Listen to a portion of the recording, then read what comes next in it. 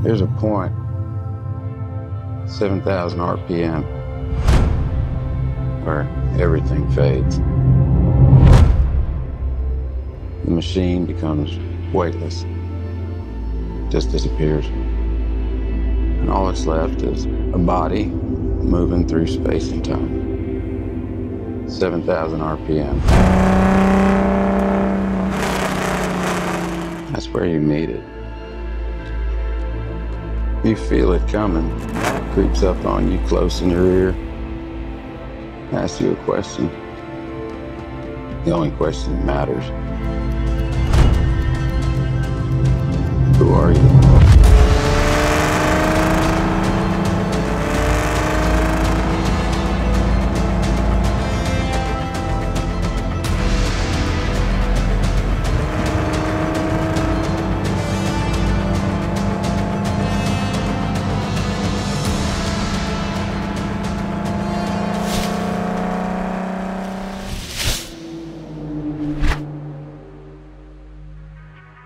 Hi, I'm Colleen Sheehan, and welcome to Next Generation Classics. And I'm here to show that classic cars are just as cool as modern supercars, and I'll show you why with this 412p tribute.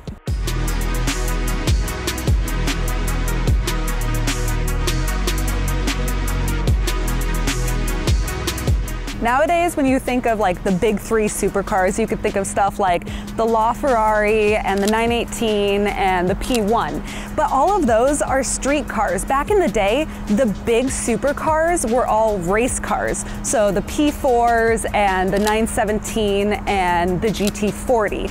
And they have so much more historical significance. They have these histories and personalities to them that a lot of modern cars lack. So back in the 60s, in 1961, Ferrari came out with the 206 SP, and that was the first mid-engine V6 race car of theirs. And it was very successful, and then they came out with the 250 LM later on, and that was the first mid-engine car to win at Le Mans. So it was a milestone for Ferrari. I mean, the 60s were a time of almost complete dominance for Ferrari. But then they had a bit of an embarrassment in 1966 when they lost to Ford in the GT40 versus the P3. So in 1967, they had to come back with a vengeance, and they did with the P4, and they won one, two, three, first, second, third at Daytona at Ford's home track. So in the same year, in 1967, they also came out with this car, the 412P, and that was a privateer race car. So they had their factory team cars, and then they had cars like this, which were their privateer race cars.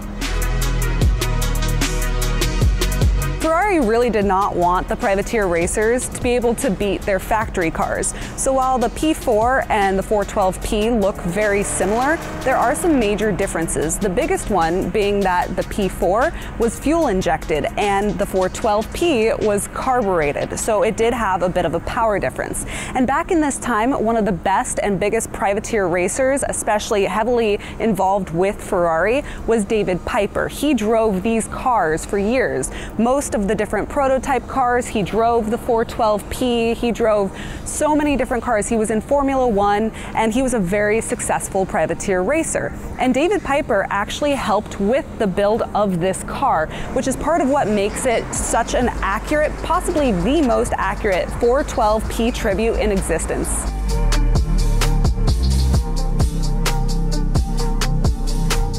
I know I called this a 412p tribute, so I figured I should explain the difference between a tribute and a replica and a resto mod. For a resto mod, it's say like what Singer does with their cars. You will take an original classic Porsche and gut it and modernize it. So it's a completely new car with that classic feel to it. But a replica is an exact copy of a real car. So with the 250 GTOs or the California Spyders, you would take the chassis and engine from a donor car like a 250 uh, GTE and use that to build your replica. So it'll have the correct engine and chassis, gauges, seats, all the parts will be real Ferrari parts and it's a real replica of the car exactly how a real one is. For a tribute car like this one, there's no donor cars available. There were only four 412Ps ever made, so you're not gonna find a donor chassis or engine lying around somewhere. It just does not exist. But this car is the most accurate replica because the body panels were built off of original body panels. So everything is very correct in how it looks, but it has some modern upgrades like a 550 engine in it, which is definitely not a downfall because because this 550 engine actually produces a little more horsepower than the original 412P engine.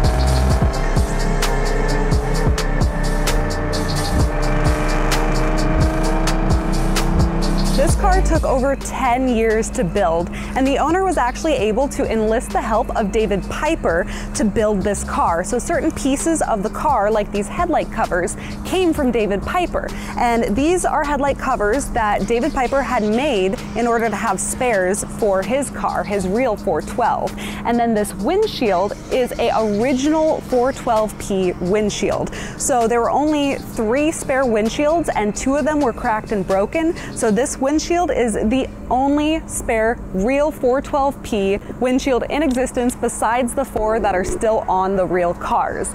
The body of this car was built off of the fiberglass body panels on Piper's car. And David, when he raced, he knew accidents happened, so he had all these spare parts made and he made the fiberglass body panels for his car. That way, when he was racing, if there was an accident, he could switch out a body panel and do some work to get the car back on the track. So the combination of the original fiberglass body panels and the headlight covers and the real windshield helped in order to create this car and the correct dimensions and lines that you just couldn't get otherwise. I mean, if you don't have those parts, you're kind of guessing with the body lines, which is what makes this so accurate.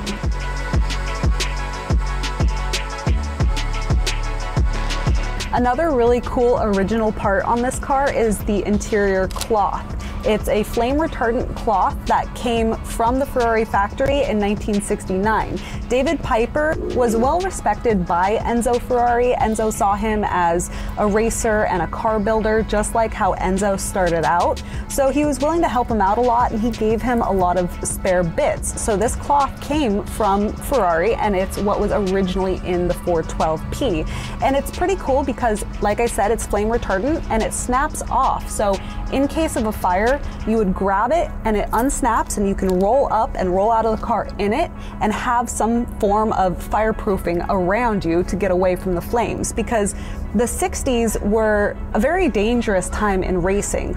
And as Jackie Stewart said, it was a time where sex was safe and racing was dangerous.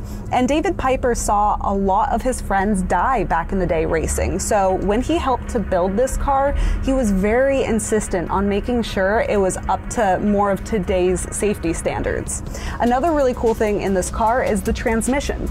So like I said before, you're not gonna find a spare 412P transmission and engine just lying around. So this transmission is actually from a Porsche G5050 and it was mated inverted to the engine, which is a pretty cool feat in itself that they were able to make that happen in the build and it works seamlessly. Even the little details on this car are from a real Ferrari. So like all the switches in the middle are from a 1967 Ferrari.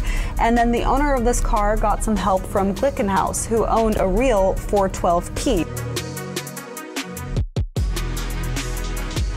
The original 412P were all fixed roof cars, but the owner of this car, when he was building it, wanted to give the option for a targa top because it is a quite cramped little cockpit. So he wanted to give that extra headroom for anyone tall. So I already unlatched the little latches in the back and then you just pop the roof off. And it's super simple and I like the versatility because it gives you the option to drive top off or if you're a little bit taller and it's super easy to put on and off. As I mentioned, the engine in this car is from a 550 Maranello, and the donor car was hit in the rear, which is pretty important when you're mentioning a donor engine from a front engine car, because if it was hit in the front, that could have caused damage to the engine. Plus, the original car only had 9,000 miles, so it is the perfect donor engine for this car. And it was dynoed at 600 horsepower, but only at 7,200 RPM.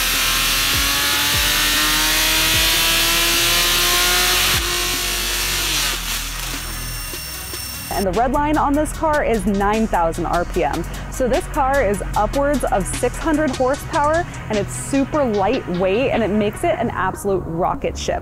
Now, one of the cool original things on this car is the wheels. So the owner of this car was able to source an original 412 wheel, and those wheels are made of magnesium. So they get brittle over time and they're not safe to drive on. The owner took the original wheel and 3D copied it and made these four wheels, but made it to today's safety standards.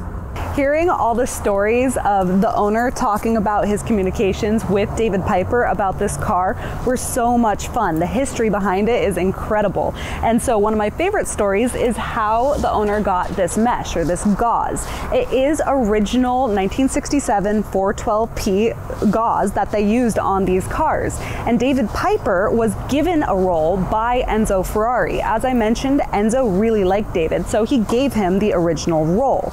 And when the owner was trying to get the original parts, David had agreed to give him the piece in order to make this. But in the phone call, the owner could hear David's wife in the background saying, Last time you tried to cut a piece out of that gauze, you cut the dickens out of your hand, so just give him the whole roll.